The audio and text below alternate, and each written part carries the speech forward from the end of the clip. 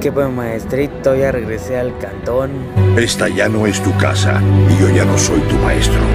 Ya veo, me cambiaste por otro que se llama